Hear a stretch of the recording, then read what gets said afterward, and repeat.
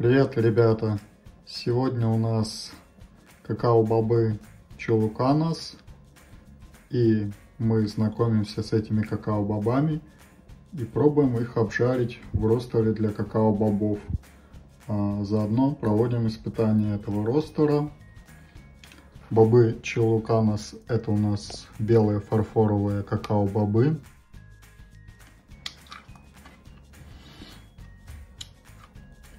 В свежем виде эти бобы не обладают таким очень фруктовым профилем. Немного есть табачных нот. Как видим, на образце от Amazing Cacao, какао-бобы эти довольно чистые, крупные, красивые. Но вот белые какао-бобы, это где-то каждый второй или третий боб. А также попадаются вот такого фиолетового оттенка.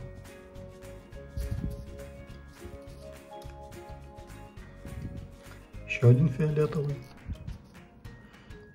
Еще фиолетовый боб. Степень ферментации разная. Довольно-таки большое количество все-таки белых бобов. И сейчас попробуем мы их обжарить. Снимаем крышку и засыпаем какао-бобы в наш ростер.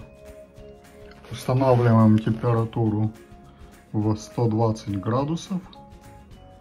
Ну, далее будем экспериментировать. Распределяем какао-бобы. И вот такая красота у нас получилась. Я употребляю какао-бобы в основном в свежем виде. Ну и жареные тоже, особенно в шоколаде, а, мне попадаются. Включаем наш ростер. Работает лопатка, перемешивающая бобы. Да, пошел нагрев. Крышка нам особо не нужна, поэтому мы ею не пользуемся. Узнаем, как изменится вкус этих ароматических какао-бобов. Очень приятный звук. Прямо перекатываются, как камушки на пляже. Попробуем.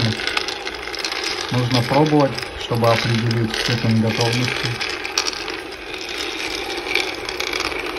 Пока какао-бобы совсем чуть-чуть обжарились но уже начинает раскрываться вкус.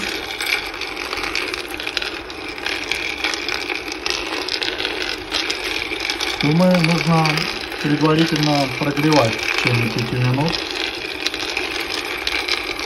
а потом уже засыпать какао-бобы.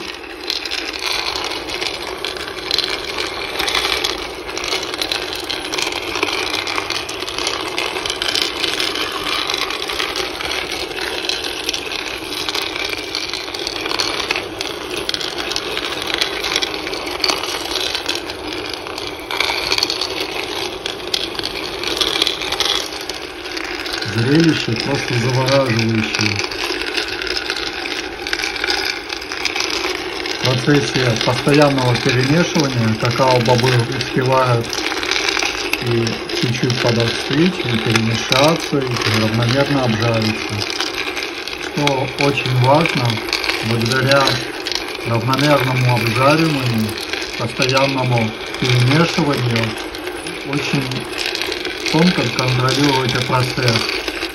То на такой небольшой температуре 120 градусов какао-бобы они очень плавно э, изменяют степень своей, своей обжарки и за счет этого можно добиваться очень тонких нюансов раскрытия вкуса какао-бобов.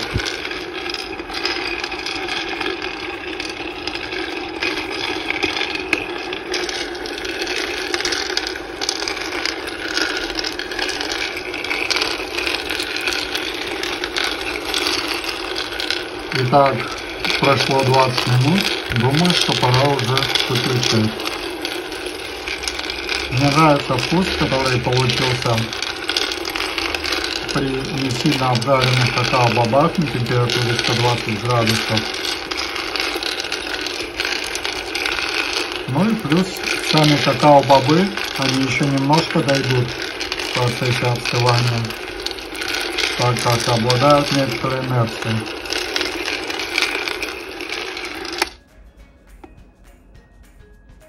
Дадим какао-бобам отстыть и попробуем, что получилось.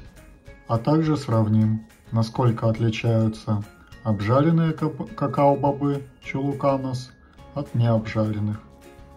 Вкус стал более мягкий, с большим уклоном в шоколадность. Ну и, конечно, обжаренные какао-бобы гораздо проще очищаются, чем сырые. Думаю, следующую партию какао-бобов, другой вид, мы обжарим при большей температуре. Ну и посмотрим, как изменится от этого вкус.